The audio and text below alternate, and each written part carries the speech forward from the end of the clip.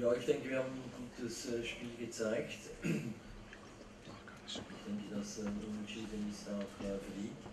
Was mir vielleicht ein bisschen ähm, gehofft hätte oder gewünscht hätte und äh, das ist vielleicht auch für die nächsten Aufgaben äh, eine Idee, die wir verwirklichen könnten.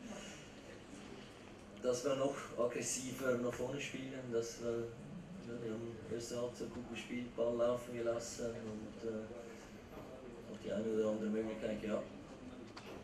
Aber ich denke, es wäre noch mehr möglich gewesen, dass wir die Vertikale noch mehr attackiert hätten, dass wir auch versucht hätten, noch mehr in den 16 Meter zu kommen. Ist äh, eine Aufgabe für die nächsten Spiele.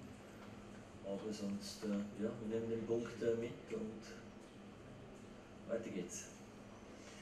Ee, iyi maç çıkardık. Yani beraberliği kesinlikle hak ettiğimizi düşünüyorum. Önümüzdeki maçlarda dilediğim işte ofensif anlamda daha fazla katkıda bulunmak istiyoruz takım olarak. Daha çok pozisyon yönetmek istiyoruz.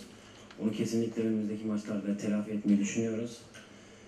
İlk yarı çok güzeldi ama maalesef işte ikinci yarı biraz pozisyona girmekte zorlanınca bir puana mağdur kaldık.